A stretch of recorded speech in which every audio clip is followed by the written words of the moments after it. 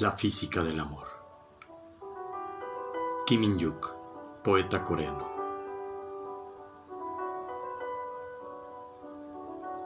Un objeto no tiene que ser grande para hacer un gran cambio.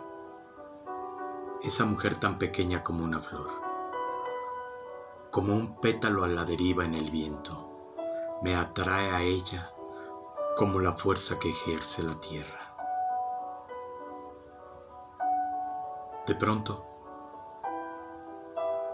caí hacia ella sin rima ni razón, tal como lo hizo la manzana de Newton.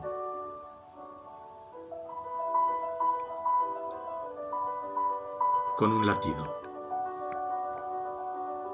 con un fuerte latido, mi corazón llegó del cielo a la tierra en un vertiginoso movimiento.